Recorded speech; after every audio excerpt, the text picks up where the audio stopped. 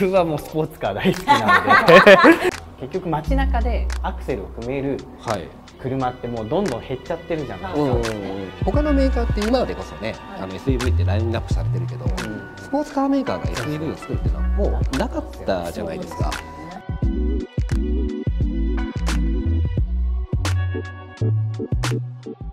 はい。えっと今回お三方にお集まりいただいたんですけれども、えっと、今回はですね、えっと、車好き。私たち車好きじゃないですか。はい。一応、ということでここの中のボックスの中に、えっと、いろいろお題が入っているので、はい。えっと、一人ずつこれを取ってですねそのお題に合わせてトークしていきたいなと思います。よろしくお願いいたします。よろしくお願いします。じゃあ早速、はい。成島さん、はい、お願いいたします。じゃあ引かせていただきます。何が出るか何が出るかはい。何が出るかな、じゃあこちらですね。なんだろう。なんだろう。でかいですもんでかい。いや、普通はもっとちっちゃいわよ。しっかりね。この箱に対して、はい。この箱に対してでかくてびっくり込んであるんで。はい、ちょっと待ってくださいね。はい、えー、じゃあ一つ目のお題はこちらですね。はい、はい、えー、今みんなにおすすめしたい輸入車はあ何？なあえはい。まあちょっと車屋さんらしい。車屋さんらしい、まあ、お題ですけど、何ですか、ちなみに。僕はね、はい。えっ、と最近は結構 BMW がちょっといいなと思ってて。そうなんですよ、あのー例えばちょっとね高級路線の車、はまあ、7シリーズとか、はいまあ、最近出てる X7 とかもそうなんですけど、はいはいそのラグジュアリー路線っていうのは昔はメルセデスの方がうん。ちょっとまああのよりラグジュアリーに振ってて、ね。BM はどっちかっていうとやっぱり走りに振ってるっていうような、うん。そんなイメージが強かったじゃないですか。でそれが最近になって結構そのラグジュアリー装備っていうのも意外と負けてないぐらい聞いう内容がそうそれは良くなっててあの例えば S クラスとかでも素の下のラインナップとかだと、はいはい。まあ、ヒーターシートヒーターはついてるけどベンチレーションはついてないよとか、でオプションつけないとなかったり、まあ、上位車種になるとついてるとかっていうのが、7とかはねもう全部こう標準でくっついてるあそうなんですね。へー。そうなんですよ。であとはそのなんだろうレーダーセーフティーとかも、はい。で昔はオプション扱いで、うんベンツはみんなついてますみたいな感じだったのが、まあ、やっぱりそれも突き出してるし、あとはねあの特にいいなと思うのがディーゼルあディーゼル。なんあディーゼル。ですよ。下から。そう。あの昔のその BMW のディーゼルちょっと音がねガラガラ。気になってたんですけど最近それが全然すごいなくなってるし40のエンジンなんかは本当にパワーも静音性もすごい優れててあの X7 の 40D とかまあちょっと乗る機会がねあのはいはい。はい販売したんであるんですけどあのボディのサイズなのにすごいキビキビ走るし中のレザーとか質感とかっていうのもすごく良くなってるんで。なんかそれこそあのちょうど X7 になると GLS うんがライバルになってくるんですけどはいはいもそのラグジュアリーさで比べても全然遜色がないぐらいえー、すごいじゃあだいぶレベル上がってきてる上がってきてますね。メルセデスとまあ同等ぐらいかなりラグジュアリーですよね。そうなんですよ。うん。なんで結構ね BMW はちょっといいな最近のラインナップは思いますね。もすごいわかりますね。ちなみにどうです？僕な。んかおすすめなの。僕はもうスポーツカー大好きなので。ラグジュアリー路線っていうよりははねちなみに、はい。ちなみに何ですか？最近乗って感動したのは C8 コルベット。あれが本当良かったんですよ。びっくりしました。びっくりしました。いやすごい私びっくりしました。うん評価高いですよね。アメ車ここまでやる？みたいな。あの乗ってる方も結構増えてきて増えました。増えました。で、まあ、よく見るようにはなりましたよね。ね。そううんあの完成度あんなにたのなんか最近のスーパーカーってパワーありすぎて街中あんま面白くない、はいはい。で高速行って踏んでもパワーありすぎてすぐみたいなんですけど、はいはいはい。街乗り楽しい高速楽しいでこれいいなってちょっと欲しくなりました、すごいですよね。ミッドシップですもんね。ミッドシップ。いきなり作ってあんな完成度高いっていう。完成度高いです。高 そうコックピット入った時のああ。のなんかこう囲まれてる感めちあゃくちゃなんかね。子供心くすぐられいやわかる。中尾さん分かってくれると思うんですけど、FD っぽい。あーそうですね。FD っぽい。FD って何ですか？あの、はい。まあ、その RX7 なんですけど、はい。あの。あくまでドライバーさんがこう、主軸になってる車なんでナビとかあのボタン類がこうドライバーさんの方ここっち向いてるんですよそう。そう。あんな感じね、なんか90年代ぐらいまであった遊び心あが今の車ってなんかこうね良くも悪くもなんかみんなにねそうそうそう洗練されすぎて一緒になってるのがあれはね。でなんか全部ボタンこっち向いてて、うんうんだから助手席からこうヒーター入れようとするとこうやって。確かに。確かに助手席の人はもうこう覗き込まない。だけどそうそうそうなんですよ。そうあれはちょっとねあくくすぐられますよね。いや本当はいなんか遊び心っていうか童心に帰れる。そうですよね。しかもめちゃくちゃ乗りやすくないですか、乗りやすいですね。なんかいい意味で国産車っぽかったんですよ。あわかるかもしれない NSX の昔のやつがあれにそっくりなんですよ。ああー。スーパーカーなのに乗りやすくてそう。乗り心地よくて乗った瞬間からこうなんていうんですか周りがわ見やすい。はい。ミッドシップってやっぱ後ろ見にくいじゃなですか。ないんですよね。あのなんかそのなんていうんですかかっこいいけどちょっと気使うよね。もうすごい少ないし、運転も楽しいしで、うん。それすごいなって、うん。いやわかりますめちゃくちゃ。だまあよく言えばなんですけどアメ車感がこう薄れて、かなりヨーロ見た目もねヨーロッパ車っぽい感じに、ねうんなりましたよね。私それまでコルベ全然興味なかったんですけど、うん。C8 見てえめっちゃかっこいいじゃん逆に今までのそのいわゆるフロントエンジンのはあのコルベットが好きだった、うん。もあーうこれだよアメ車は。っていう人たち確からするとちょっとどうねなのかなっていうのはありますけど。聞、いてみたいですねどっちうんなのか、ただ車の完成度はねすごい高かったですね。個人はい的にケイマンより高いなって思ってああそうですか。ケイマンよりポルシェ。ポルシェのケイマンよりも僕は面白いなって2000ちょっとでしたっけ？コルベットあれ1300万あ1300あ全然万とか1400万。そうそんぐらいですね。はい今中古市場でいうと。でもそうはい。やって考えると安いやお得だと思いますよ。ミッドシップであうん。んなんで、うん。エンジンちゃんと6.2リッター。はい。大排そうですよ気量積んでねそれでその金額ってなると安いですよね、コスパ最高だと思います。コスパはめちゃくちゃ最強、うん。はい。確かに。最後はい。私私はなんかもう本当スーパーカーお姉さんって言ってるので、まあ、スーパーカーなんですけど。い。いやそうですよだからねここで自分もす、あのスポーツカーにしちゃうと、はい。みんなそれいやにそうなんですよ。ね確かになんごめんなさい。どうこっちしてもやっぱり自分の大好きな、はい。やっぱりあのランボルギーニの裏カンペルフォルマンでスパイダーが大好きで、い。はい。いやこれなんでかっていうとランボルギーニまあ全部もちろん好きなんですけど、やっぱりアベンタ通りに比べて、あのダブルクラッチでうん。すごく乗りやすい、うんうんそしてあの普通にエゴと比べられることもあると思うんですけど、うん同じエンジン積んでるのでうん640馬力、うん。ただやっぱりウィングがついてて ALA ついてるじゃないですか、うん SVJ と同じ。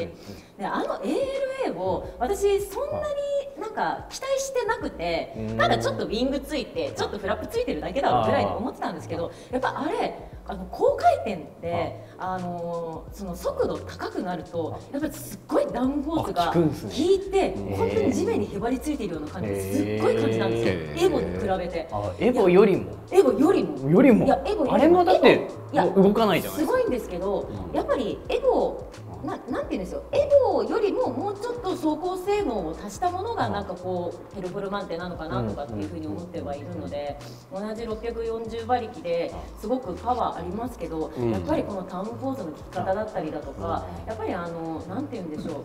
その走行性能が本当に良かったのですごいなと思う。あのフラップがやっぱぱりすごくて、ねやっぱフラップあの速度とか、走行モードに合わせてこれあの出したりこの閉じたりするじゃないですかあれもあの後ろのフラップもあの左右でバラバラでできるんですよ、うんうんへー。それもすごいなと思って、ねすごい性能だなと思ってびっくりしました、ねでもあともう一つ私おすすめしたいなっていうものがあって、うんとポルシェのカイエンターボ GT 私乗ったんですけど、あれすごかったです。なんかもう SUV じゃなくて軽すぎるし音もすごいしあのもうはキビキビ SUV の9 911って感じでした。うん。えーそんなにいいんですね。まあポルシェの作り方はそうですね。あの最初に一番最初カイエンが出るときに、はい。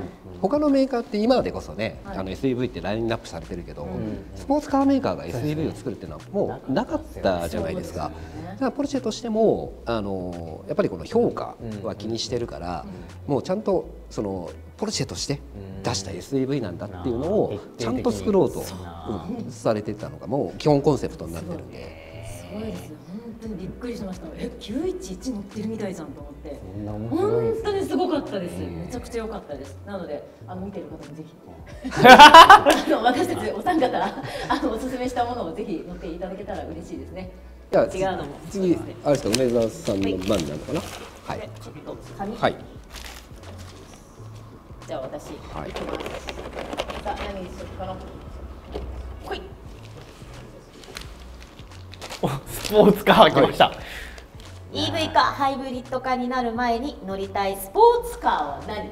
はい、何？ということですが、はい。えちょっと待って。なんだろう。まあ、ちょっと結構ね幅広くなっちゃう。幅広いですよね、でもやっぱり僕はスポーツカーではい。もう限定されるんだったら、やっぱり911と、うん。いや私もパッと思いついただったんですよ。あとフェラーリのミッドシップ、ね。V8 ミッドシップ。そうですね。ん。あのまあ、当然フェラーリもあの SF90 がもう出てるんで、うんはいはいはい。ハイブリッドも、ねそうですね。入れられて始始まっててるんですけどやっぱりあの458とかうんうん乗った時のあのフィーリングとかそうですね。あの SF90 もすごいいい車ですし、ものすごい速い車なんですけどまあやっぱりとそういうところ、あのーもうこれからじゃなくてやっぱりちょっと前のね、あの音だったりとかっていうあれを知のはっ。てしまうと、はい、いやもっと言うとね355とかのあー355これはもう楽器ですもん。そう。楽器。ではい。あれは走る楽器っすよ、だからあの単純に走る楽しさだけじゃなくて、うん。スポーツカーって音もやっぱすごい重要なファクターになってくるのでまあ、そこも合わせて楽しめるっていうのは、うん。やっぱりこの規制がどんどん強化されるにあたって年々新しく出てくる車ってやっぱ音がちっちゃくなってきてるじゃないですか。今ヨーロッパすごいっすもん。そう。ほとんど音出せないう。ん、だから991の後期よりも992になってから結構バンって落ちましたし、うん。まあ、458と4パッパだったら結局ターボ化したこともあって、結構落ちちゃってるのがあるので、やっぱりその NA っていうのは単純に回転が吹き上がりがいいよっていうだけじゃなくて音の部分っていうのもすごくやっぱ気になる要素にはなるんで、そうですね、はい、僕はそこねら辺乗ってるんだかなっていうね。そうですよね、フェラーリ乗ってるぞ感があるじゃないですか、やっぱり。あの後ろから聞こえてくるあの音が。あれがいいですよね、はい。い、やでも私もかぶってしまうな本当に。ランボルギー。ニラランボルギーニは。いやランボルギーニももちろんそうなんですけどでもなんかそれを考えるとやっぱりうーんフェラーリとかのあの甲高い音とかうんあっちの方がなんかハイブリッド化になる前ってなるとそっちの方がちょっと乗りたいなとかっていうふうに思っちゃいますね。あと911の方が。エボの場合こう制御もしっかりしてるからそうなんですよある種結構ハイテク装備に包まれてる感があるじゃないですか。だからなんかちょっとハイブリッド車とかうん。EV 車とは違いますけどあの制御の良さがあるからこそちょっとこの古い時代のプリディミティブまあなそうですよこの原始的なフィーリングを味わうっていう意味だとフェラーリとか911の方がうん。まあでもランボルギーニで音しないのって。確かに音のしないランボはあだからあれ？みたいな。あれウルスって乗りました？乗りました乗りました？あ乗りましたあれ多分電子音ですね、音。あまずスピーカーからそうスピーカーを。あスピーカーからあののやつそう普段のその音とあのバルブのバルブかはい開閉みたいなマフラーサウンドのボタンがあるんですけど、はい。あのそ中で聞いてるとあだいぶ変わったなと思うんですよ、たはい。ただあれ外から聞いてると変わってないんですへえそうなんですそうだ多分あれねスピーカー音だと思います、うんややっぱもう本当にね規制に合わせて。ですよそうですね。まあでも中でも楽しめるんだったらそれはそれでいいやって思っ自ちゃう。分が楽しめる。周りに迷惑かけずに自分だけ気持ちよくなれるみたいな。そうだから最近ねあの488なんかは僕のいる中央店で結構台数多く販売させてもらってるんですけどあの、まあ、ちょっとね車検のこととか、まあ、そういったことは度外視になっちゃうんですけど、はい。やっぱりマフラー変える方っていうのがすごく多くなった印象。静かになった分そうですはい。ね補うような感じで、はい、やられる方が多いかなとか、うんまあ、そういった車がそういうカスタムをされてる車が入ってくることが多くなりましたね。へーうん。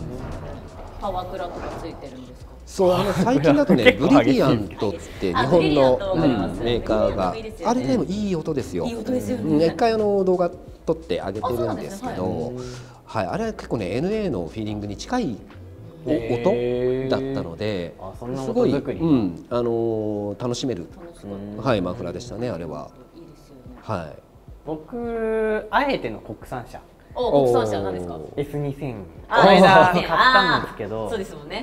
もう本当ましたもんね。にじゃあ自分がこの先もう何十年も先にはい。EV とかハイブリッドしか買えなくなった時に乗りたい車なんだろうって言って僕が選んだのは S2000 ああそうなんですか。そう。うん。昨日 S2000 で来られてて。あれ？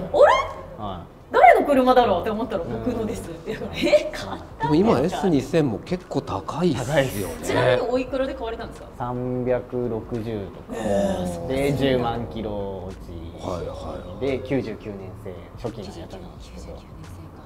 結局街中でアクセルを踏めるはい車ってもうどんどん減っちゃってるじゃないですか、うですね。あれって9000回転まで回せるんですけど、はい。9000回転まで回せて250馬力の車。ってあれしかないんですよ。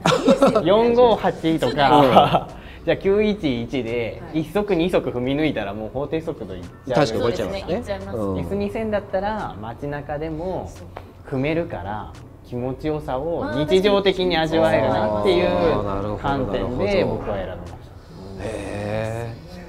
もうねやっぱり終売になってからねどんどんどんどんなんか終売になってからはそんなにはいあの値段上がってなかったけど、はいここに来て一気にね来ましたよね一気に来ましたよね。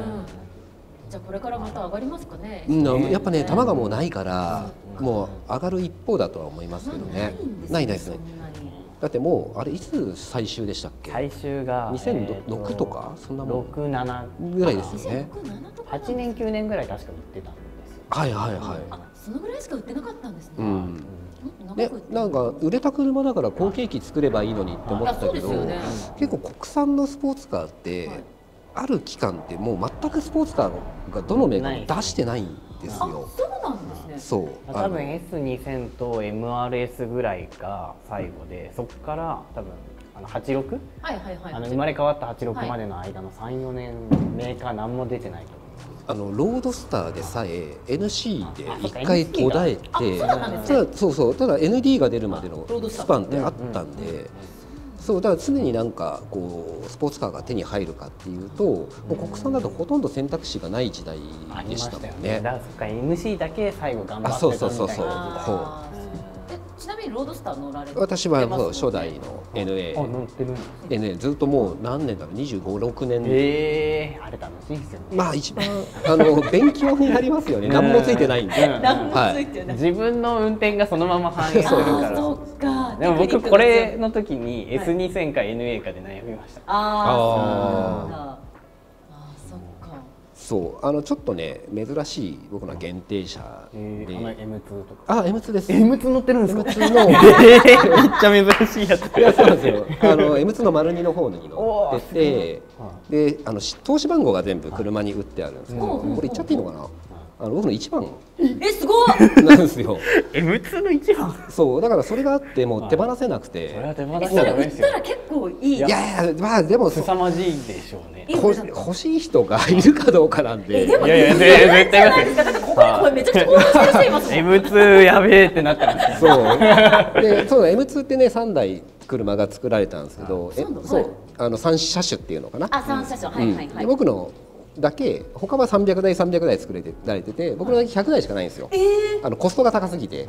結局あそうなんだ。300作ろうとしたんだけど156人ぐらいしか申し込みが来なくて、はい。じゃあもう切り替え100人しちゃおうって言って、はい。その100台の中の一番。えすごい。なんですよ。めちゃめちゃレアですよ。かなりレアで。それ最初購入する前から1って分かってたんですか？いや違うんです。あの本当に中古で見に行ってでもともとあの買うつもりなかったんです。すんげえ高かったんで。ですね。で当時大学生ですから。えー。大学生で買ったそう。大学生で買った気合い入れて。結構気合い入れて。当時で350ぐらいになっちゃったかな。だってロードスターなんて12030で買えた時代にとんでもない値段だったからまあ一回見に行ったけどかっこいいけどこれは無理だって言って、はい。他のとこ回ったんだけどもう頭から離れなくても。うそれが。で戻ってもう買うとえー、すごい。えー、今度ちょっと乗せてほしい。本物見たことないですもん。そんなにうんそんな感じの車なんだ動いてる本物見たことない。そうで後で写真お見せします。あはい。すごいですねそうなんだちょっとそうごめんなさい路線ずれて。はいでもいいお話が聞けましたね